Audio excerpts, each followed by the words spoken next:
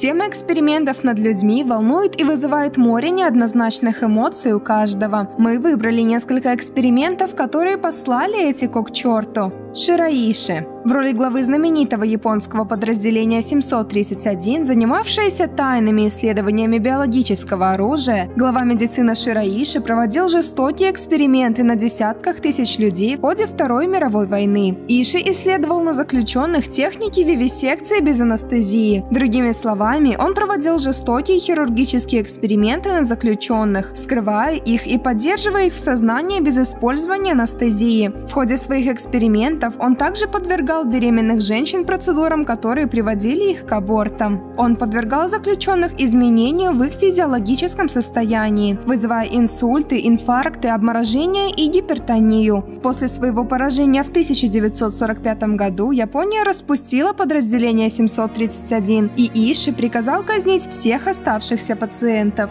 Спустя непродолжительное время после этого он сам также был арестован. А затем уважаемый генерал Дуглас МакАртур заключил соглашение с доктором Иши. В обмен на неприкосновенность от Соединенных Штатов он должен был предоставить все имеющиеся у него данные по вирусному оружию, полученные в ходе экспериментов на живых людях.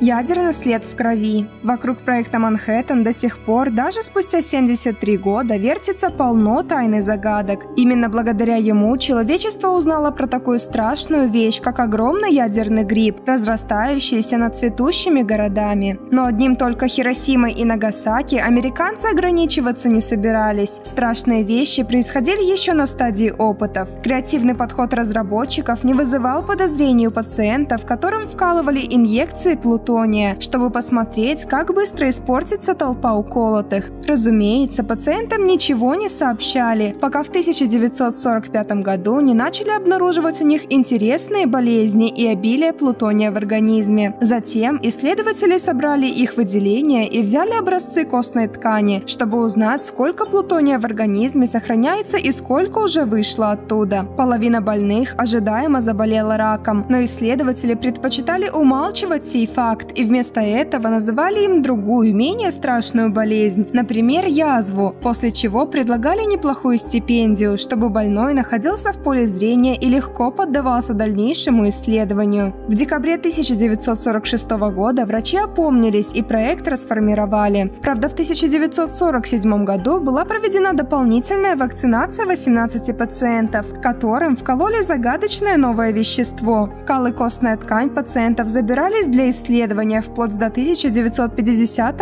года, пока от вакцины не умер последний испытуемый – добровольцы.